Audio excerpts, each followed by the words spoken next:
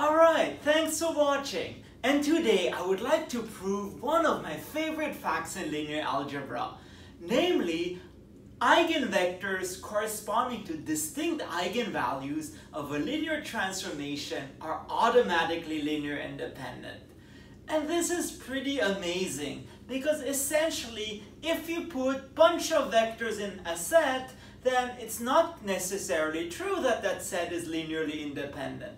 But if you have eigenvectors for distinct eigenvalues, then it is true. Your new set is linearly independent.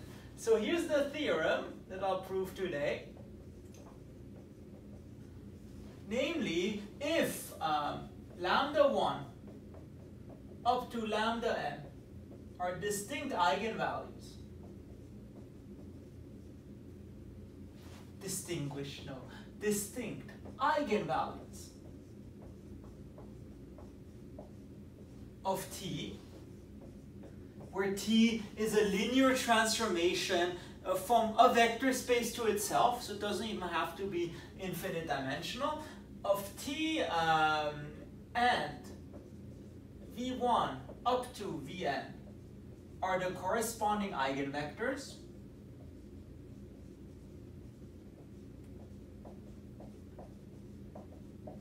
Corresponding eigenvectors.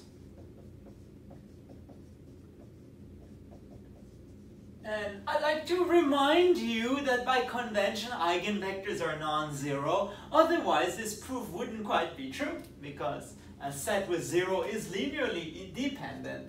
So then v1 up to vn is linearly independent. And you, I'm sure you have used this fact before in elementary linear algebra courses without even knowing why it's true. So let me just illustrate this. And by the way, everything I say about linear transformations here also works for matrices. So suppose A is a matrix.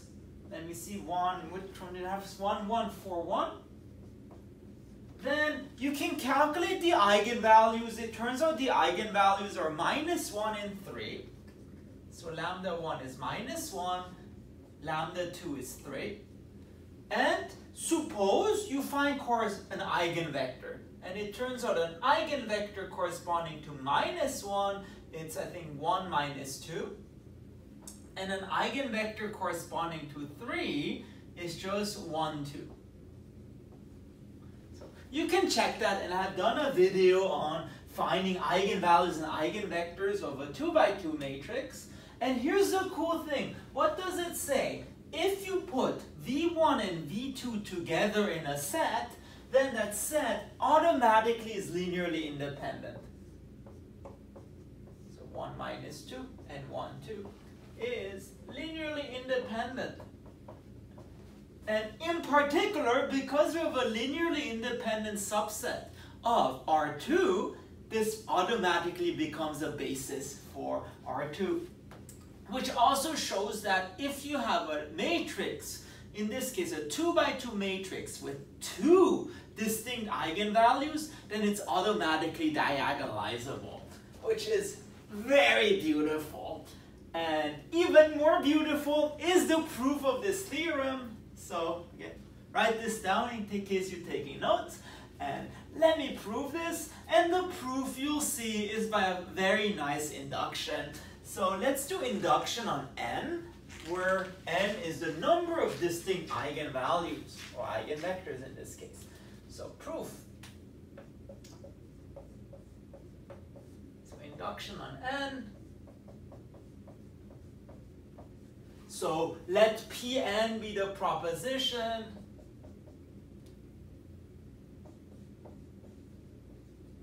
Be that prop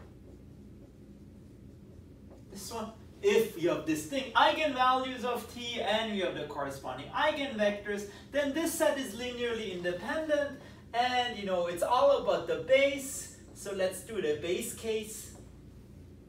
So suppose n is 1, which means suppose T has one eigenvalue and a corresponding eigenvector. So suppose T has eigenvalue.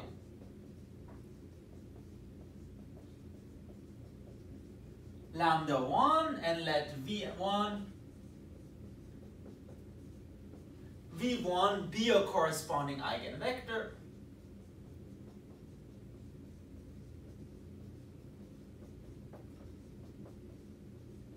Eigenvector. And again, I would like to remind you, eigenvectors here are non-zero. And in particular, what about that set? Well, then V1, because it's a set of a non-zero vector, it's automatically linearly independent. So in particular, there's nothing really to prove here. Has nothing to do with an eigenvector, just the fact that if you have a set with a non-zero vector, then it's linearly independent. So that was the, uh, the base case. Now let's do the inductive step. So, in other words, suppose this is true for n minus 1 vectors and show that it's true for n vectors. So, inductive step. So suppose Pn minus 1 is true. And then show Pn is true. So to show Pn is true, suppose lambda 1 up to lambda n are distinct eigenvalues of t and show that v1 up to vn is linearly independent. So suppose lambda 1 up to lambda n are distinct eigenvalues.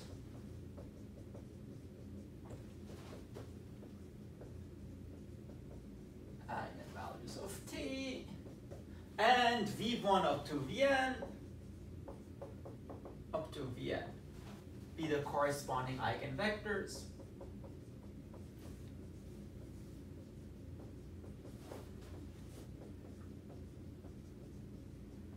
Eigenvectors. And let's show that v1 up to vn is linearly independent.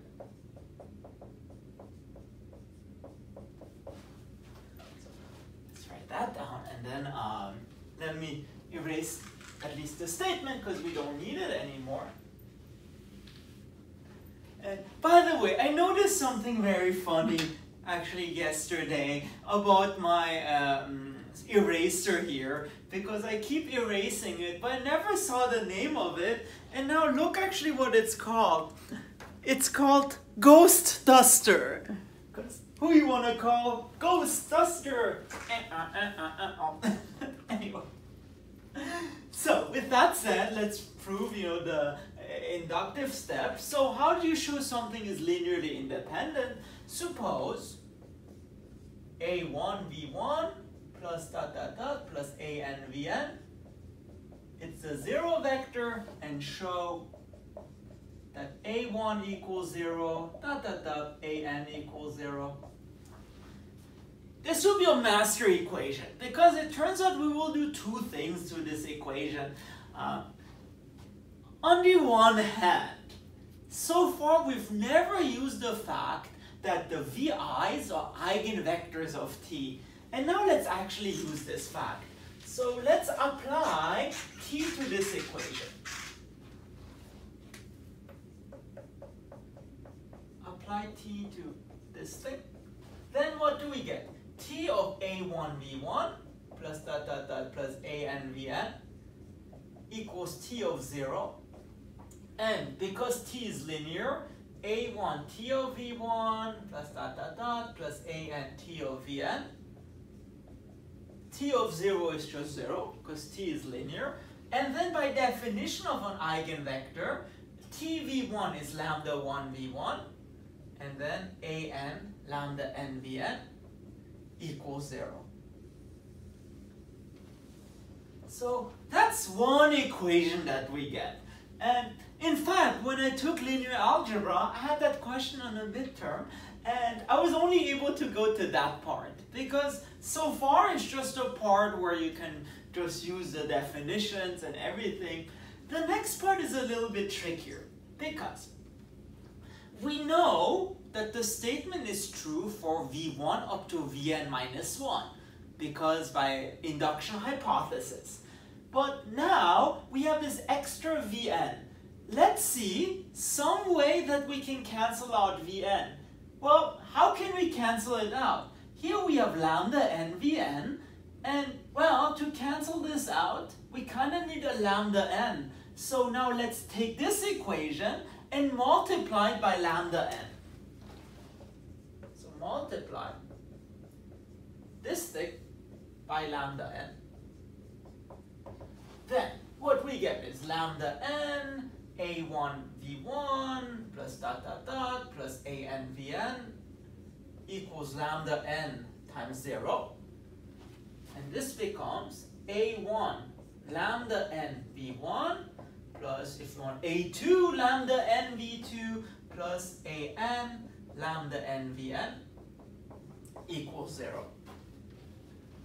And be especially careful. You know, the, those equations look very similar, but they're not quite the same because in this equation, all the coefficients are equal. All the lambda n's are in front of it, but here the lambdas vary in terms of which vector you have. Okay, so that's cool. And all we need to do is just subtract everything. So subtract this equation from this equation if you want to, uh, 1 minus 2 or 2 minus 1, whichever you prefer. Then we get a1 lambda 1 minus lambda n v1. So if you do this minus this, a1 and v1 they factor out, and it goes all the way up to an minus 1, lambda n minus 1 minus lambda n Vn minus 1. And what happens to those terms? Well, an lambda n Vn minus an lambda n Vn. So you get that this is 0. And this is very good because think about what this means. This means that we somehow get a non-trivial linear combination of v1 up to vn minus 1, which gives you a zero vector. But there's one thing we haven't used yet, which is the induction hypothesis. So now let's use our induction hypothesis to conclude that all those coefficients are zero.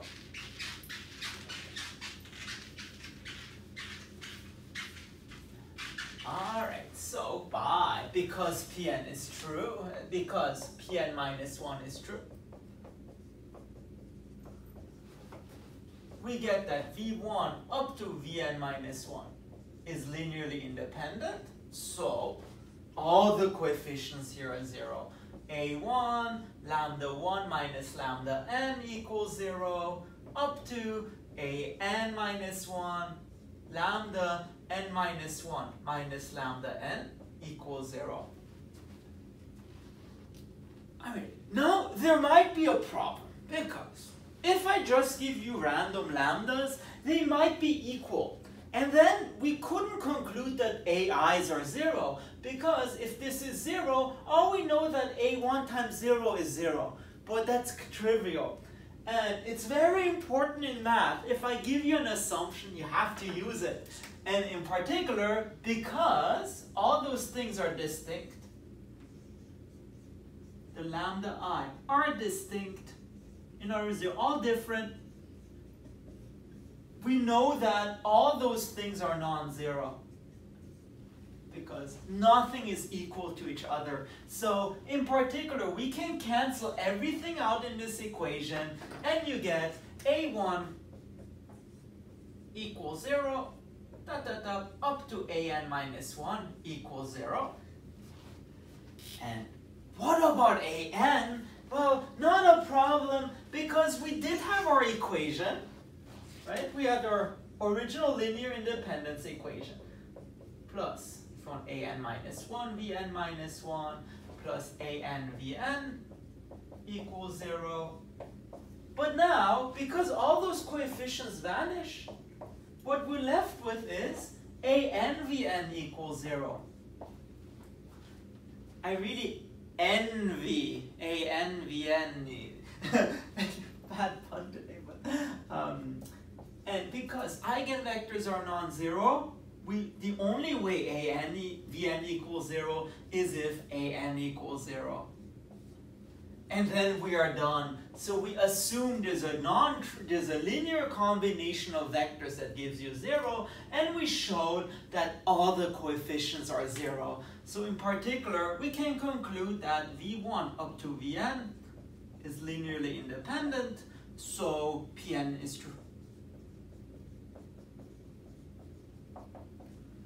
In other words, if you take eigenvectors corresponding to different eigenvalues, they're automatically linearly independent. And it's a very beautiful proof in my opinion because uh, you just write the definition of linear independence.